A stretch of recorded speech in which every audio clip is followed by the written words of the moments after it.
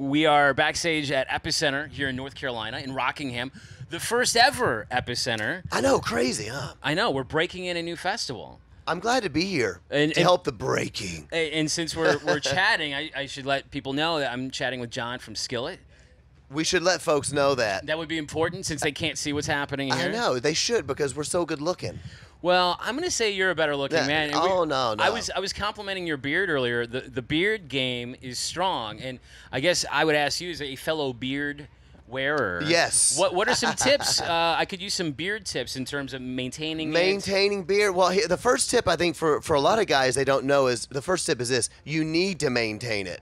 Right. You know, otherwise you you you, you know your lady is just like, dude, you look like a uh, you look like a homeless person. Yes. Smells and it's nasty. You know what? Because of that, this is a true story. I started my own beard products. You did. I wish I had them here. I could give it to you, but you can check it out on Amazon. It's uh, John Cooper is my name. Yep. John Cooper Beard Products. It'll show up. Uh, beard wax, beard oil, beard wash. You so that, that's the thing. You kind of just you got to keep it washed, and you got to put something in it to make it smell nice. now, do you have a beard balm? Because I've been using a beard balm as a Uh, I do not have balm. I I, I kind of went for the extreme, the oil and the wax, because the balm is kind of like in the middle, right? Okay. Um, so I didn't do the middle thing because I have to use wax on mine, and you and, and wax is a little harder to find.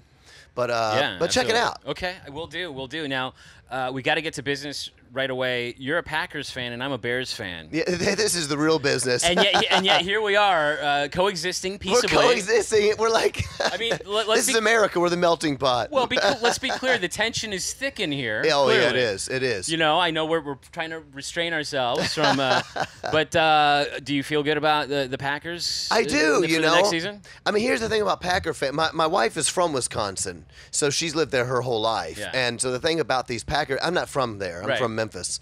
Uh, but when I moved there, I kind of found out you're not allowed into the family if you don't adopt the Packers. You're Yeah. not allowed to go to a gas station, to a bar. You know, it's like all Packers are like they'll beat you up. If man. you're not a Packers fan, that's a divorceable offense. I, am telling you, Especially in the laws right. up there, like, oh, he doesn't like the Packers. Oh, divorce That- granted. that's in the Wisconsin Bible. You know? yeah, right.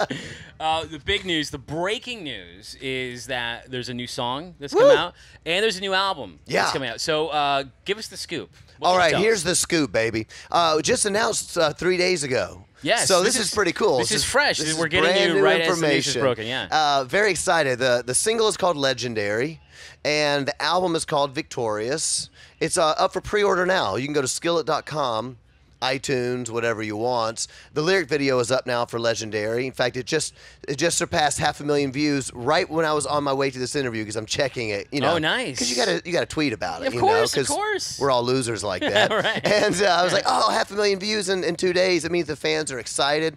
The fans are still engaged. That's what it's all about. You, you got to make sure your fans are happy, or you've put out the wrong record. Well, plus they didn't forget. They didn't forget about you. And- They don't forget. You know, you- you got to keep it going. You know, and and. Uh, that's the most important thing is making sure the fans you have are happy. They don't forget about you. So, record is out now, and uh, I'll tell you anything you want to know about it because I am so I'm on top of the world, man. All right. Well, one more thing, since you have the excellent beard, and it looks like you could be an extra on Game of Thrones. yeah. are, are, are you a Game of Thrones fan? Uh, you know, I'm a fan of the books. Uh, oh, really? yeah, But not the you haven't not the series. Yeah, I watched a little bit. Okay. It was um, it was a little too much for me. I think some uh, it was a little too pornographic for me. Okay. And not judgment on anybody else, but I didn't find the books to be that way. I felt the books to be kind of.